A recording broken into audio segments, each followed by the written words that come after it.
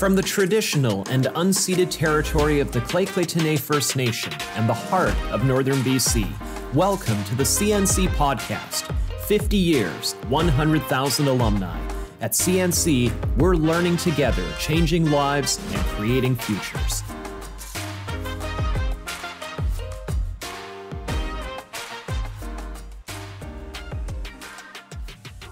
Welcome to the CNC podcast. I'm Mark Cargelotto. At CNC, we want to make sure that anyone who wants to learn can be accommodated at the college. And accessibility needs are important. About a quarter of Canadians over the age of 15 will have an accessibility need. So that means we have staff in the college working very closely with prospective students to make sure that their needs can be accommodated and that they can be successful.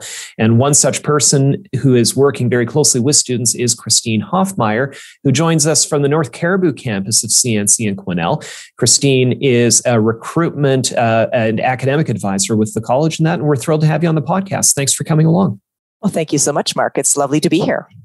Do you want to tell me a little bit about your work then? Uh, what, uh, uh, when do you get to meet students who might have an accessibility need and how do you work with them?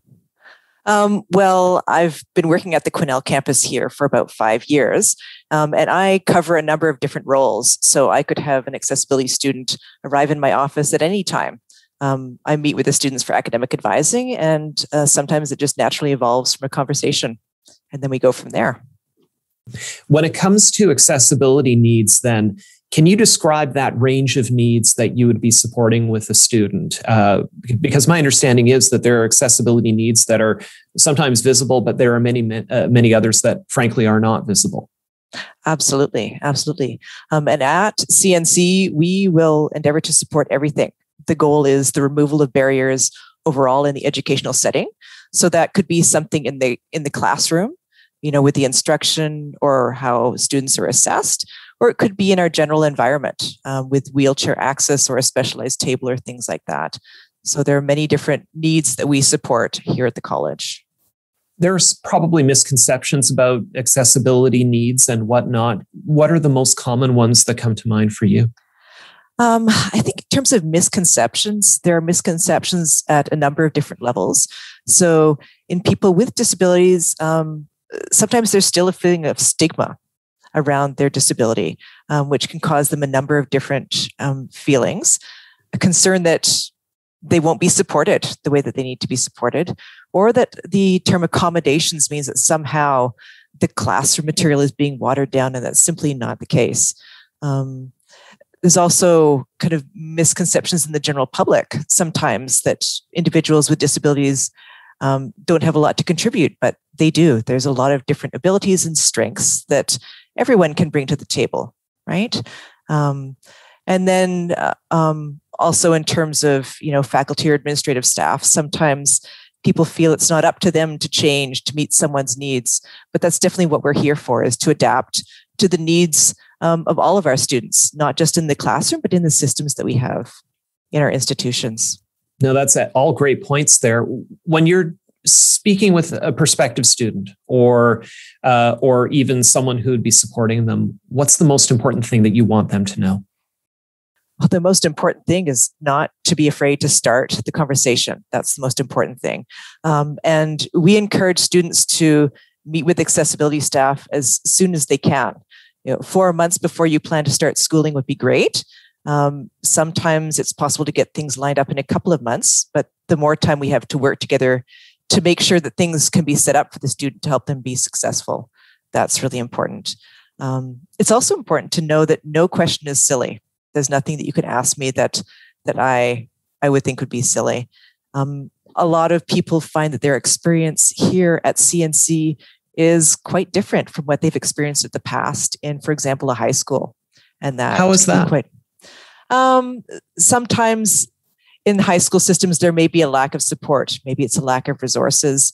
Um, maybe students just get pushed through, and that's not our goal here. Our goal is to really support the students um, thoroughly in to be as, as successful as they can in their college endeavors. So, in starting that conversation, as you've indicated, more time is better. But how does a student uh, start that conversation? Do they give you a call? Do they send an email? What What would you recommend? They can do either, whatever works for them. Um, so, in terms of accessibility services, there is um, a dedicated accessibility advisor at the Prince George campus who supports Prince George and other smaller regional campuses. Um, I work primarily with students at the Quesnel campus. Um, and there's a number of ways to contact us that could be with an email, that could be with a phone call, it could be popping down in person to book an appointment, whatever works best for the student. Can you tell me about that first appointment and then how the process unfolds from there? So, when you first meet a student, what do you talk about? Um, uh, my first step with a student is to get to know a bit more about them. You know, uh, what they've experienced in the past, what their goals are, what they're feeling passionate about or what they're feeling worried about, right? It's all about getting to know people as an individual. Um, in the first appointment, it is, of course, important to go over things such as confidentiality and what accessibility services looks like in the college, what things we can provide, and then what steps we need to take to move forward. So, getting an understanding with the student of what their needs are and what documentation I would need to be able to support them moving forward. So, can you take me through an example of a student's need and then kind of the documentation that typically would go along with that? Then, what, like, is it a note from their doctor or what exactly? Yeah. So, um, in quite a few cases, um, a note from a doctor. So, for example, if a student is coming with something um, such as um, mental health concerns or um, attention deficit disorder or something physical that impacts in the classroom, then going to a doctor or physician to get some documentation is appropriate. If a student um, has something such as a learning difficulty, then that does require an assessment by a psychologist. So that's a bit more involved. Um, yeah, so those would be a couple of individual examples but you're working with a student to be able to say in this particular circumstance this is the kind of document documentation that you need and then how that goes forward. Is there a general standard that the college takes or is that coming from uh, you know a provincial law or or guidance or how how is it that you, that you set the standards in terms of how you can accommodate someone? Oh in terms of how we can accommodate someone. Yes. Um, that's a combination really that's driven in a lot of cases by the documentation. What we're looking for is functionally how you know how does a student actually work in the classroom environment and what they need and that comes from the documentation um, uh, sorry mark i think you had a second point there and i've lost that in my mind no, I think that that's all fair enough. It's okay. it's sort of it's sort of a matter of how is that standard set, and and it, yeah. it, sounds like there's a bit of variance that between what a student ultimately needs, and that's that's that's all fair enough. Yeah. Um, what about then after you've done the assessment, you've met with the student, you have the documentation? What does it? Can you take an example and indicate in a classroom what might that involve for a student? Uh, you touched on mental health a little bit earlier. Uh, if there are some other examples you could offer, that's great too. Yeah. Um, so, for example, once we have the documentation, um, then we would meet with the student again to specifically discuss what accommodations um, we can offer them in the classroom and to come to an agreement. Um, and then the accommodations, so those would be changes um, or adaptations in the classroom, outside of the classroom. That's something that the, the accessibility staff communicates directly with other staff. So it could be the actual instructor of the classroom or perhaps the student needs more tutoring, then we would help connect the student with, with those supports. But at that point, it's strictly talking about the accommodations, not about a diagnosis or anything personal. And that's important for the student to understand. Um, You're trying to keep their information basically just to what's needed to accommodate them so they don't yes. have to share further yeah, beyond what exactly. They yeah, yeah, okay. That makes sense. Yeah. Yeah. Yeah, I understand that that would probably be a, a subject that someone wants to if someone's dealing with an accessibility need that they want to keep that information limited to basically what's needed to help them out exactly privacy yeah. is extremely important yeah yeah yeah um, in terms of then with instructors and other services how do they change to be able to support someone with an accessibility need uh, and again another example would be just terrific yeah um, so, for example, let's say in the classroom we have an individual um, with some kind of hearing disability, right? So maybe they have partial hearing. Um, they so in the classroom, um, if an instructor has um, clear overheads and PowerPoints and can provide that to the student beforehand, that would be useful as well too.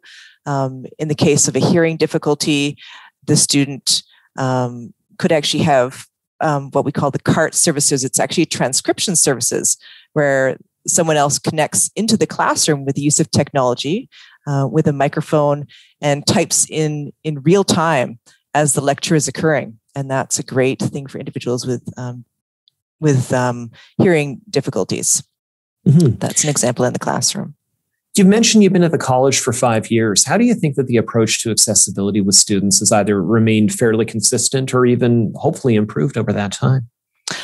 Um, well, the approach. Uh, so there's been a number of things that have kind of changed in the college. The range of services that we have available to offer that has definitely increased. So the CART services that I've mentioned, those is that's a new thing in the last couple of years. Um, service dogs are now accepted in the college which is a new service. So there's some different things that have changed for the better. Um, one kind of trend that's affected not only the college but um, individuals with disabilities overall is that there are fewer volunteers. So sometimes we're looking for volunteers to take notes, even just from the student body. Fewer people step forward, and that's a concern. Um, there's definitely been an increase in service requests, especially in the last couple of years.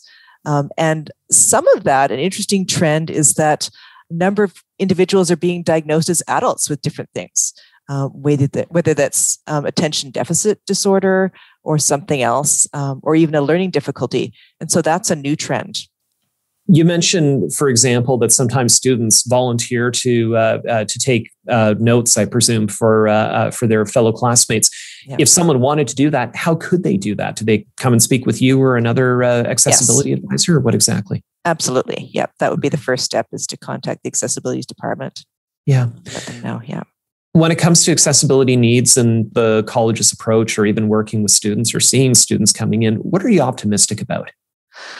Oh, okay. So I'm optimistic about a number of different things. Um, yeah. In the last little while, there has been new legislation, um, both in Canada and BC, and I think that's um, a big step forward um, in ensuring that not only post-secondary places but work environments and other environments really have at the forefront of their mind how how do we um, provide services to individuals with disabilities. Right, that's a big step, um, and kind of integrating that into into things that we do. So having the accessibility week to celebrate the abilities that people have um, that might have different diversity, um, having committees and institutions to to look at meeting the needs of different individuals.